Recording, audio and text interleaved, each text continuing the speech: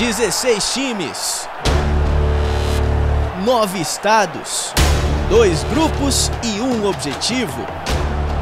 A Copa dos Clássicos está começando. O campeão nordestino de 1998 volta à Copa do Nordeste e recebe o atual tricampeão paraibano em mais um show na Arena das Dunas, na largada da maior competição regional do país. Nesse sábado, às 18 horas, você vai assistir ao vivo a partida entre América e Botafogo, na primeira rodada da Copa do Nordeste de 2020. Vem com a gente assistir ao melhor campeonato do Brasil